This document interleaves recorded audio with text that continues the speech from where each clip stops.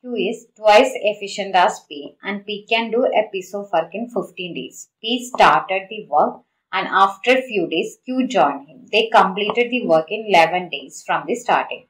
For how many days did they work together? Here Q is twice efficient as P means Q is equal to 2 times P.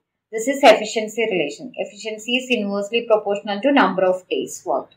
Here P can do a piece of work in 15 days means if P finish a work in 15 days, then Q only take half days of P, that is 7.5 days because Q is 2 times efficient than P.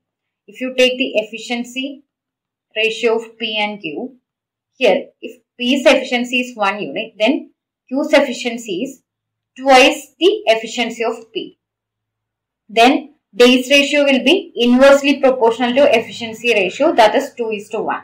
That is, if P take 15 days to complete a work, then Q only take 7.5 days to complete the same work.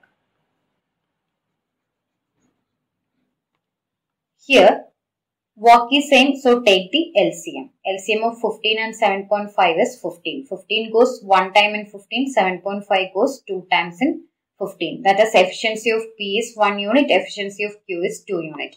Now, first P started the work. First, P started the work. Then Q joined. That is, after that, P and Q together worked. And this total work completed in 11 days. Now you can see this all these 11 days P worked. So work completed by P in 11 days is equal to 11 into efficiency of P is 1 unit. So 11 unit is completed in 11 days by P. Here total work is 15 unit. So remaining work is 15 minus 11 that is 4 unit. This 4 unit is completed by Q.